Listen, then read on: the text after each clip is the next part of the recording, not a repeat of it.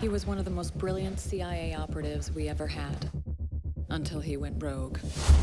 This guy's just not gonna walk into an American consulate without good reason. Oh my god. That's Tobin Frost. Don't look him back! This ain't a test, this is the real thing. They're here for me, but they want me alive. You don't kill.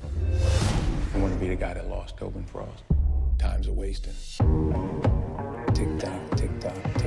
世界から狙われる男と逃げる危険すぎる32時間!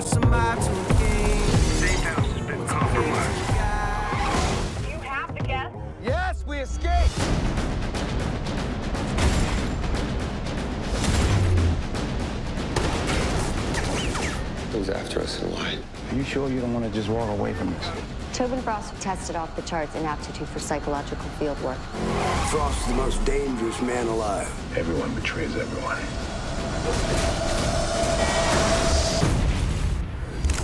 Do I make you nervous?